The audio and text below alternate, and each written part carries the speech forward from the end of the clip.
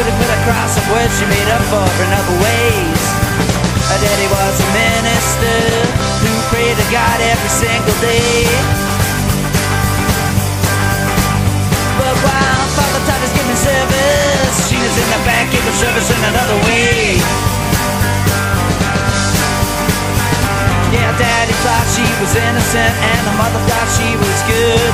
But all the boys knew what she was like and all the things that she could do. She was roughed up good and ready for anything that you could throw. She'll invite you round to see her. See Sheena putting on a show. Well, I was looking for forgiveness. I was needing to be saved.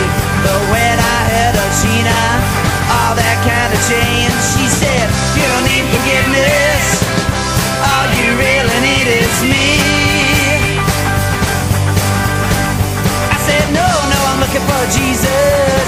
Just like Barabbas of the tree.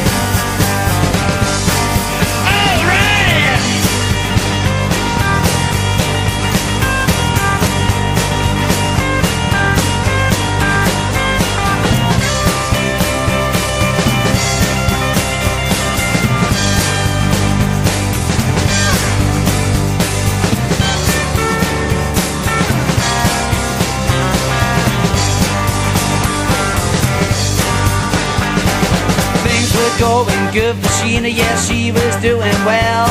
Till late one night she heard a sound outside and what it was she could not tell. Sent her daddy to investigate and look outside for what it was. There the congregation was standing with an effigy of Sheena burning on the cross. What was all this madness? What been going? Sheena didn't have an answer. She knew she had done wrong, so she packed her bags and left there quicker than